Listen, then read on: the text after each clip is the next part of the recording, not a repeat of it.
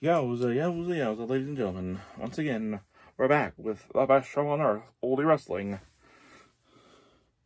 Today we're looking at the El Cantro and Beardology presents the Speakeasy Spectacular at Friday, May 5th, May 19th at Marshall's.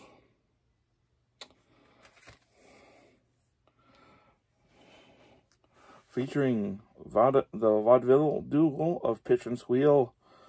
Derek Ulster versus Agent Dick J. Lockhart. Jacques Thompson versus Bruno Moretti. Marine Fontaine versus Judge Hugo Lexington Black. Ariana Blanco versus the legislating, the legislating lobbyists. Lobbying legislators. Sorry, folks. And Thunder Kitty versus Britt Baker.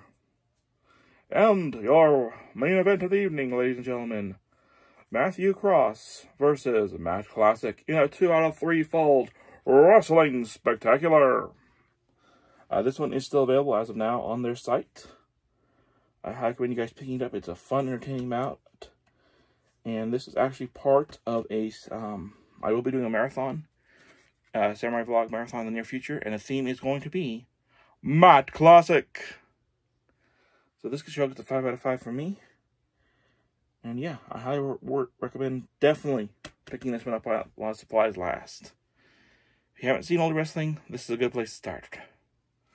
Alright, until next time, this is American Samurai saying support independent wrestling and don't be afraid to take a spin and try something a little different. Until next time, good news and good night.